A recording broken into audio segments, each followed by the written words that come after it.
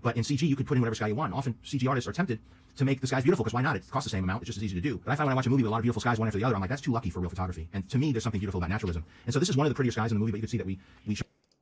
It's so lame. What are you talking about? You're so lame, Jon. Jesus Christ. It's too it's too beautiful for real for like you wouldn't get that kind of shot in real life. Yeah, lions wouldn't be talking either, you fucking idiot.